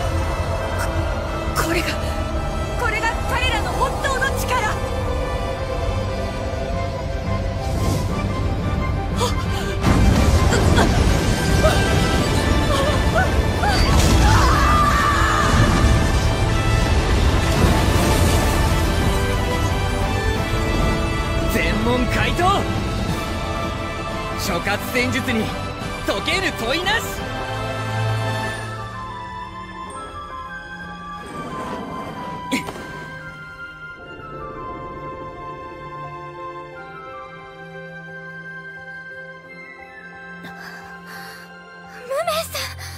おかえり白ちゃん。